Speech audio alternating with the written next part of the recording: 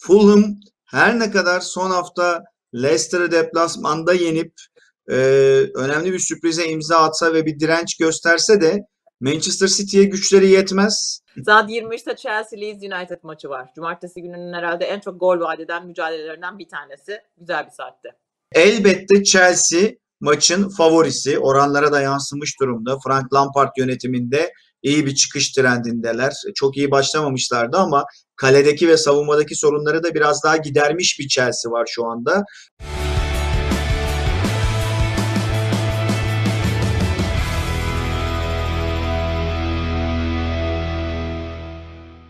Nesne Premier'den herkese merhaba efendim. Sevgili Erman Yaşar'la yine keyifli bir sohbetin daha başındayız. Ee, Erman Yaşar'ın yüzü gülüyor her zamanki gibi. Ee, her ne kadar kendisine nazar değmiş olsa da geçtiğimiz hafta e, çok iyi bir skorla aslında tamamlamıştık e, şeyimize, tahminlerimizi diyeyim. Bu hafta onda 7 de kötü değil ha Erman Yaşar? Ee, kesinlikle değil. Ee, bir de öyle bir onda 7 oldu ki Burcu yani aslında onda 9'a falan çok yaklaştık. Yani e, Everton Leeds United maçına karşılıklı gol var demiştik ve yani o maçta Everton'ın kaçırdıkları maçın karşılıklı gol var olmaması çok acayipti. Keza Southampton Manchester United maçında da Southampton yenilmez demiştim.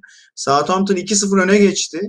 Ee, ve 90 artı 3'te o civarlarda yediği golle kaybetti. Yani aslında onda 9'a da yaklaştık ama e, çok ucundan kıyısından onda 7'de kaldık. Bir önceki hafta onda 8 yapmıştık. Bu hafta onda 7.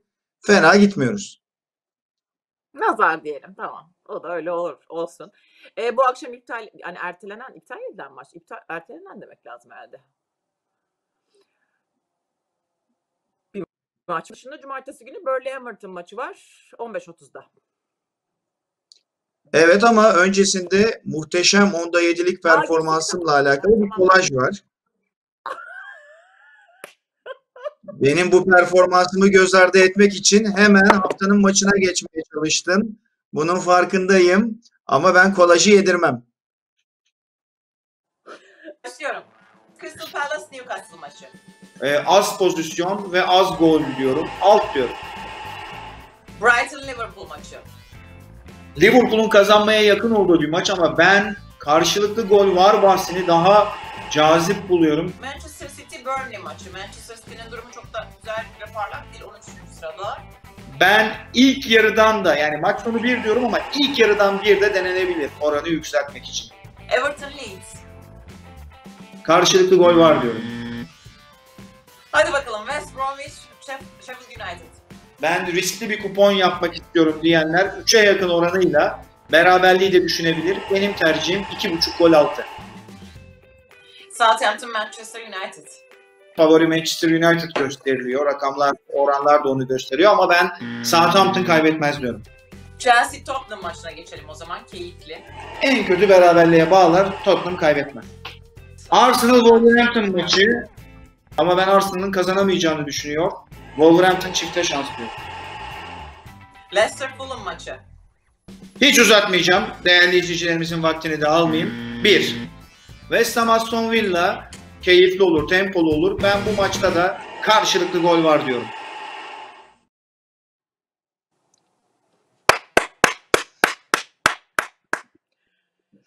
Ben Göz göre göre gidiyorduk o başı ya. Önünü kapatmaya. Ben senin önüne geçmeye, önünü kapatmaya her ne kadar çalışsam da sen öyle büyük ve pırıl pırıl bir güneşsin ki senin önüne geçmek, seni kapatmak Estağfurullah. imkansız Erman Yaşar. Haklısın, özür dilerim. Yani siz karşımda parıl parıl parıldarken benim güneş olmam mümkün değil. Peki. Çok teşekkür ederim. Yine çok kibarsınız. O zaman ağzıma tıkadığın o laf bilir miyiz? Cumartesi günü 15.30'da Burnley Everton maçı var. Ee, Everton geçen hafta e, yine istediği sonucu alamadı ve yavaş yavaş o lige çok iyi başlangıç yapıp liderliğe oturan takım şu anda senin de gördüğün gibi 8. sıraya kadar geriledi. Yani yavaş yavaş orta sıralara geldi. Ee, diğer tarafta Burnley ligin dibinde zaten çok sıkıntılı e, bir e, görüntü de çiziyor. Ee, Everton için Zor bir maç. Burnley mutlaka direnç koyacaktır. Ama e, ben e, bir şekilde Everton'ın galibiyete yakın olduğunu düşünüyorum. E, Everton için bu kötü gidişi ya da son haftalarda arka arkaya e, kaybettiği puanları toparlamak adına önemli bir fırsat olabilir. Ben Everton'ın kazanacağını düşünüyorum. 2 diyeceğim. Peki. Güzel. 18'de Manchester City Fulham maçı var. Yani bu da aslında çok net Manchester City'nin ağır bastığı bir maç. Ee, Manchester City arka arkaya onlar da e, kötü sonuçlar aldıktan sonra geçen hafta Burnley'e patladılar. Fulham her ne kadar son hafta Leicester'ı deplasmanda yenip e, önemli bir sürprize imza atsa ve bir direnç gösterse de Manchester City'ye güçleri yetmez. E, tabii 1-0-6 çok düşük bir oran. Yani bunu önermek e, çok mantıklı değil. Ben o yüzden e, Manchester City'nin handikapını e, öneriyorum. Yani Manchester City en az iki farkla kazanır bu maçı. Peki. 20-30'da West Ham Manchester United maçı var. West Ham çok iyi. E, son 3 maçını da kazandı. Nasıl bir karşılaşma bekliyorsun? Ee, zor bir maç. Bence haftanın öncelikle en e, sıkı kapışmalarından biri. Yani cumartesi 20.30'da e, futbol severler eğer daha iyi yapacak bir şeyleri yoksa e, bu maçı Yok ki e, karantina. kaçırma Yani aynen e, Yoktur kaçırmamalarını tavsiye ederim. Çok iyi bir maç. Manchester United da çok zor bir Southampton deplasmanından son saniyelerde çıktı. Ben geçen hafta da Manchester United'ı karşıma almıştım. Southampton kaybetmez demiştim. Ve son saniyede kaybetti Southampton. Benim o karavanalarımdan biri oldu. Fakat bu haftada Manchester United'ı karşıma alacağım ben. Bu sefer de West Ham kaybetmez diyorum. West Ham'ın Manchester United'a yenilmeyeceğini düşünüyorum. Peki. İddialı. Önümüzdeki haftanın kolajında evet. şu sahneyi görmek istiyorum gerçekten. Saat 23'te Chelsea Leeds United maçı var. Cumartesi gününün herhalde en çok gol vaat eden mücadelelerinden bir tanesi. Güzel bir saatte. Kesinlikle öyle. Ee, çok e, güzel söyledin. Ee, en çok gol e, vaat eden mücadelelerinden biri, en fazla pozisyon vaat eden mücadelelerinden biri diye. Ee, elbette Chelsea maçın favorisi. Oranlara da yansımış durumda. Frank Lampard yönetiminde iyi bir çıkış trendindeler. Çok iyi başlamamışlardı ama kaledeki ve savunmadaki sorunları da biraz daha gidermiş bir Chelsea var şu anda. Ve bu maça favori çıkıyorlar. Leeds United özellikle savunması hayli sıkıntılı bir takım. Fakat e, oyunun hücum yönünü mükemmel oynuyor Bielsa'nın takımı ve gerçekten e, Leeds United ligde her takıma problem çıkarabiliyor. İşte Everton'ı gittiler deplasmanda yendiler. E, Liverpool'u çok zorladılar. Manchester City ile berabere kaldılar. Bence Chelsea'yi de zorlayacaklar. E, bir taraf bahsi almaktansa e, üst seçeneğine gitmek. Çünkü senin de söylediğin gibi gole çok yatkın bir maç bol pozisyonlu geçmeye, gollü geçmeye çok yatkın bir maç. Üst seçeneğini mantıklı görüyorum. Peki. Pazar gününe geçelim mi? Geçelim. 15'te West Bromwich Crystal Palace maçı var. Nasıl bir karşılaşma olur? Ee, şimdi nasıl bir karşılaşma olur? Nasıl bir karşılaşma olur? West Bromwich biraz olsun işte nefes aldı. Biraz olsun e, toparlanma emareleri gösterdi. E, ama hala ligin en büyük düşme adaylarından biri. Hala ligin alt sıraları için en büyük adaylardan biri ve şunu da söylemek lazım. Ben zaman zaman da söylüyorum. E, Premier Lig standartlarının biraz altında bir kadroya sahipler. E, kadroları e, birçok takımdan çok daha zayıf. Crystal Palace bu maçta West Bromwich deplasmanında çıkacak olan Crystal Palace da mesela e, West Bromwich'e oranla daha iyi kadroya sahip olan, daha e, iyi bir takım. Premier Lig'de geçer akçe oyunculara sahip bir takım. Burada ben e, Crystal Palace'ın kaybetmeyeceğini düşünüyorum. 0-2 çifte şans Deplasman takımına güvenmek, Crystal Palace'ın bu deplasmanda yenilmeyeceğini düşünmek bence mantıklı. Ee, Palace yenilmez diyorum. Oh güzel. 17-15'te Sheffield United Leicester City maçı var. Ligde iki maçtır kazanamıyor. Leicester City değil mi? Evet. Evet Leicester düşüşte. Ee, yani Avrupa Ligi'nde de iyi bir maç çıkaramadılar. Geçen hafta Fulham karşısında zaten e, şok yani Liverpool'a çok eksik bir Liverpool'a felaket bir oyunla farklı kaybetmişlerdi. Hadi dedik Liverpool'dur. Olur. Rakip Liverpool. Ama geçen hafta Fulham'a da kendi evinde e, kaybetti Leicester. Avrupa Ligi'nde de iyi bir ortaya koyamadı. Leicester'ın düşüşte olduğu gerçek. Sheffield United zaten ligin dibinde. E, bu sezon bir türlü o istedikleri çıkışı e, yapamıyorlar. İstedikleri oyunu ortaya koyamıyorlar. Yani burada Leicester City'ye güvenmek büyük bir risk. Bu kadar e, sıkıntılı giderken Leicester büyük bir risk.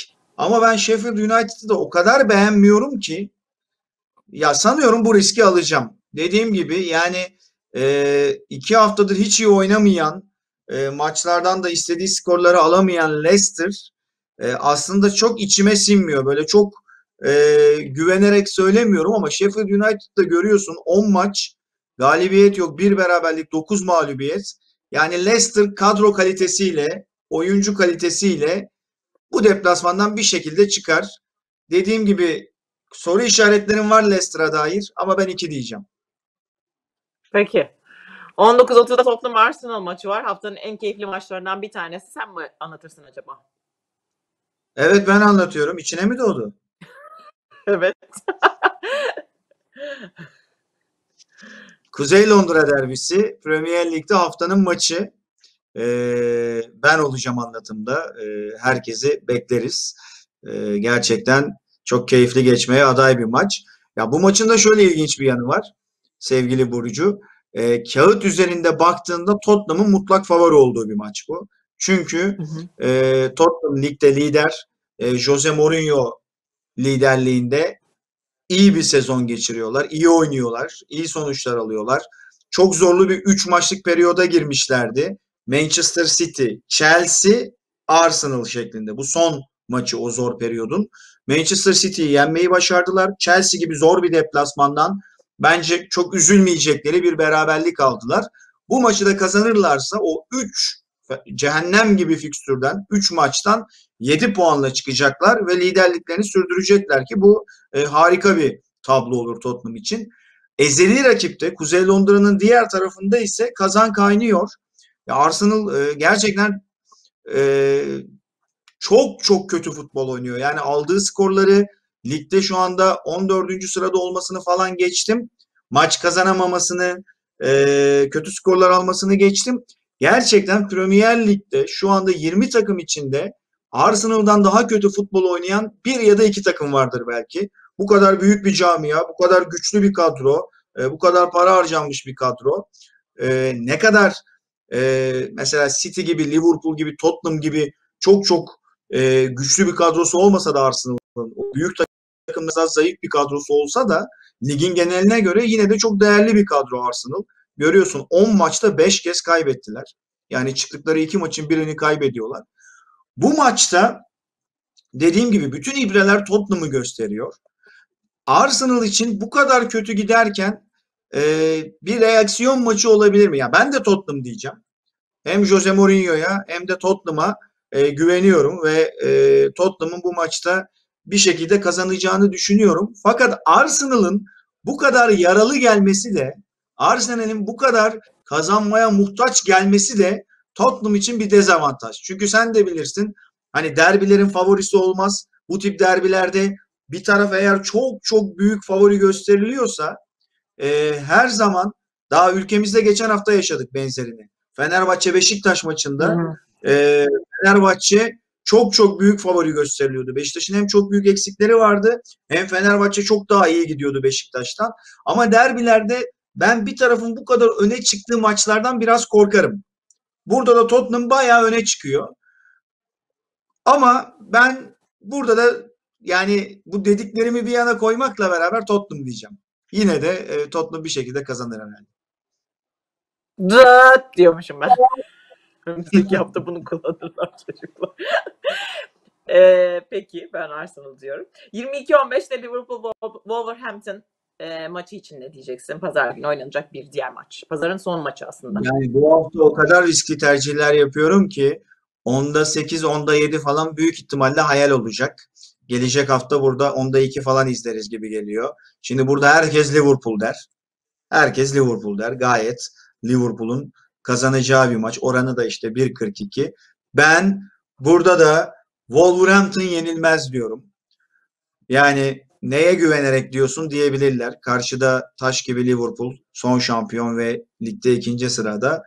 Yani hem Liverpool'un eksiklerinin biraz e, ritmini bozması hem e, arka arkaya oynanan hem Şampiyonlar Ligi maçları hem lig maçları Wolverhampton sanki e, bu deplasmanda Liverpool'a bir sürpriz hazırlayabilir. Bu deplasmandan Anfield'dan puan çıkarabilir gibi geliyor bana. Tabii e, işte görüyorsun maç sonu 2-4-75 veriyor. Muhtemelen Wolverhampton yenilmezin de oranı ikilerin üzerindedir. E, çok riskli bir tercih.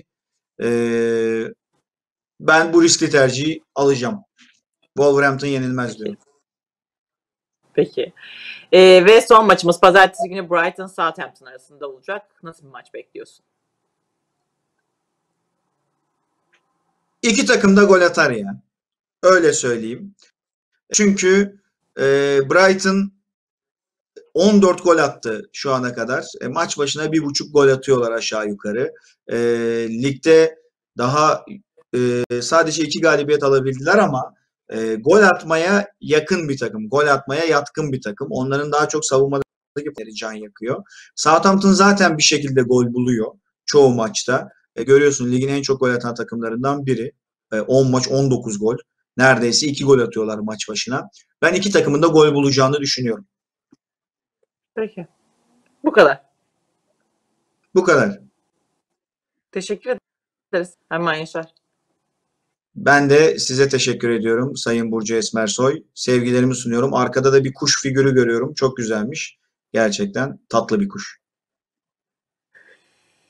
O kuşun yaptığı şeyi görsen o kadar tatlı değil. Ben sana şimdi gruba yollayacağım onu. Hadi bakalım. Çok teşekkür ederiz. Keyifle anlatacağın e, Arsenal maçını bekliyorum ben de yarın. Ya pazar günü değil mi? Pardon özür dilerim. E, haftaya Pazar. görüşürüz.